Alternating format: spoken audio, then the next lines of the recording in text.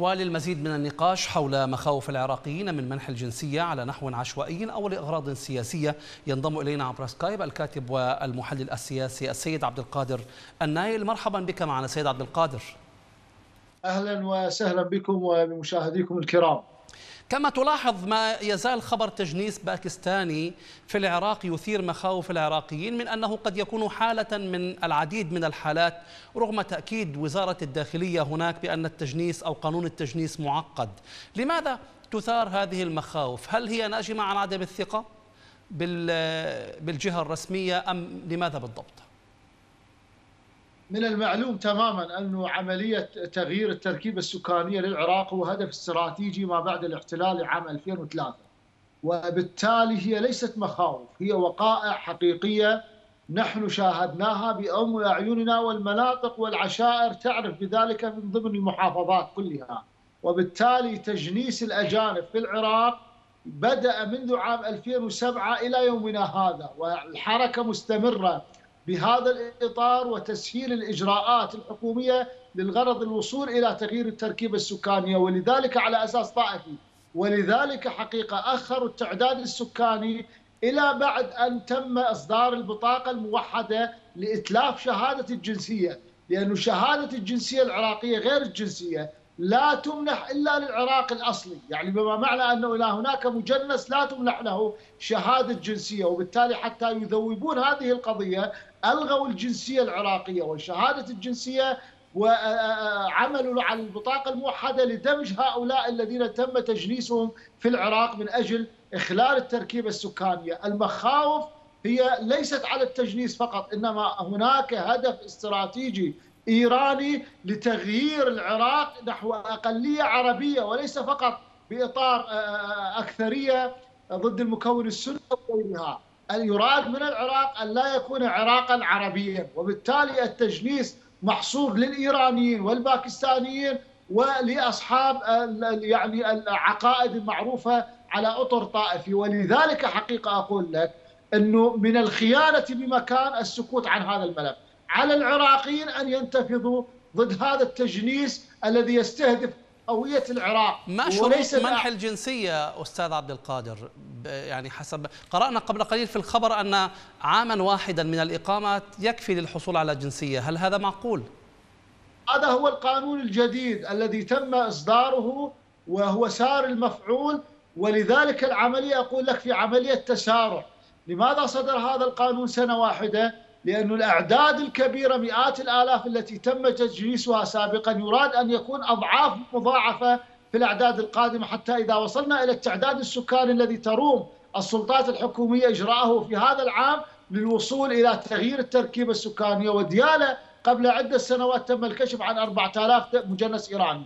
هنا السؤال يقول لهؤلاء الأطراف السياسية إيران هم سكنوا فيها أكثر من 20 عاما.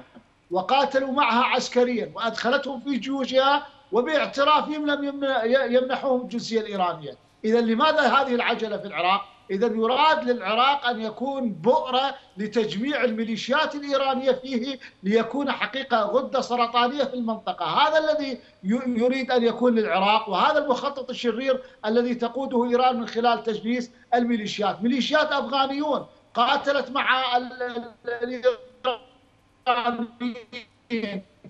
والآن تقاتل معهم في العراق وتقاتل في سوريا ولبنان واليمن، لكن إلى هذه اللحظة أتحدى أن يأتي قرارا إيرانيا بتجنيس شخصية من لواء زينبيون الأفغاني في في إيران، كلهم يسكنون المخيمات، لكن في العراق بدأوا من خلال إقامة سنة يمنحونهم الجنسية العراقية وبالتالي يتم تجنيسهم ومنحهم قطع أراضي ويعاملون كمعاملة عراقي بشكل واضح بينما يطردون الفلسطينيين ولم يمنحوهم الجنسية أو الجواز العراقي وهم يعيشون من عشرات السنين في العراق. هذه حقيقة يؤكد على أن المشروع يراد من خلاله تحويل العراق إلى ساحة خلفية لميليشيات و مجرمي إيران ليكون العراق مغير في التركيبة السكانية بهذا الإطار. ذكرت قبل قليل أن مئات الآلاف جرى تجنيسهم، هل هناك إحصائيات مؤكدة بهذا الإطار أم أنها تقديرات قد يعني لا تكون مؤكدة؟ لا لا القضية فيها تأكيدات لأننا نتكلم عن البصرة ونتكلم عن دياله ونتكلم عن بغداد ونتكلم عن النجف في كل سنة يتم يعني تحديد طلاب الحوزة واعطائهم الجنسية العراقية. وطبعا هذه القضية أيضا يعني لا توجد في دول العالم. الطالب كما يعلم أن إقامة الطالب هي ليست إقامة للتجنيس إنما إقامة لإكمال دراسته. في كل دول العالم أحيانا الطالب يتأخر في الدولة المعينه الأوروبية التي هي تفتح باب التجنيس لم تفتحها للطلاب. يعني الطلاب الطبية في لندن يعني يبقون مقيمين أكثر من تسع سنوات لكنهم لا يمنحون لا الجنسية البريطانية ولا تجنيسهم. يعودون مع مع أن غيرهم أربع سنوات يحصل على الجنسية في الدول الأوروبية. لأن وضعية الطلاب هو مقيم للطلاب. إلا في العراق فإن طلاب الحوزة من دون كل الطلاب يتم منحهم من السنة الأولى والسنتين الأولى الجنسية العراقية ويتم منحهم قطع أراضي. ولو رأيت الأحياء السكنية التي تبنى بشكل يعني بذخ وبدور فارهة لهؤلاء الطلاب. لرأيت العجب ما بين النجفيون يسكنون في زقاقات يعني أكل عليها الدهر وشرب وضيقه تماما. وهؤلاء الأحياء للطلاب الأفغانيين والباكستانيين كالحي الذي يشرف عليه بشير الباكستاني لا حتى الكهرباء لا تنقطع عنهم. لماذا هذه الامتيازات الرفيعة أستاذ عبد القادر؟ لماذا يعني يعطى الجنسية ويعطى أيضا معها قطعة أرض وكما تتفضل خدمات متوفرة؟ لأنهم يريدون حقيقة استبدال السكان الأصليين العراقيين سواء كانوا شيعة أو سنة بهؤلاء الطارئين الطائفيين لأنهم يوالون ولاية الفقيه. وبالتالي تدريجيا ما بعد 10 إلى 20 عام سيتحول تلك المحافظات بعدم وجود العرب فيها وتكون المحافظات الجنوبية بأقلية عربية.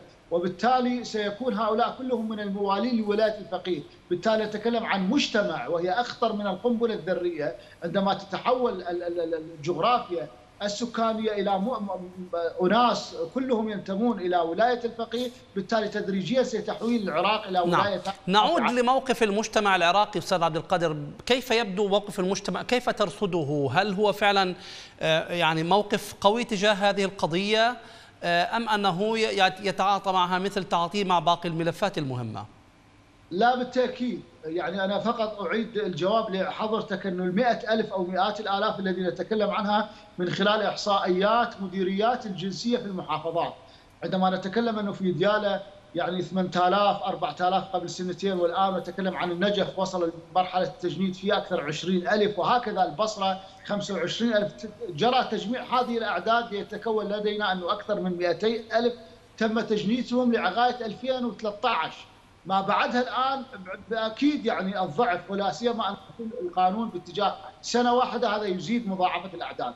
العراقيون يشغلونهم وهذه الملفات يتم طمرها يشغلونهم ملفات. يعني ترى أن الإعلام في العراق المحلي ومواقع التواصل مثلا على سبيل المثال مختلف بها على اختيار رئيس مجلس النواب. يتم إشغالهم بعيد الغدير. يتم إشغالهم الذي هو العراقيون غدا لن يعني سيعترفون به كعطلة. هناك محافظات لن تعترف بأن يكون هناك عطلة مفروضة عليها وستمارس حياتها يوم غدا إشغال العراقيين بهذه الملفات إشغال العراقيين بالطائفية بالاغتيالات غيب العقل العراقي عن هذه الملفات المهمة والاستراتيجية. وبالتالي هم يعملون بهذه الملفات بينما يشغلون الإعلام والعراقيين بوقائع طائفية ووقائع تستهدف حياتهم وتستهدف الكهرباء تستهدف انشغال العراقيين بالحرائق المنتشرة الآن وهي حرائق مفتعلة. بالتالي تغييب العقل العراقي الجمعي عن هذه الملفات الخطيرة. لذلك ينبغي علينا التركيز وإلا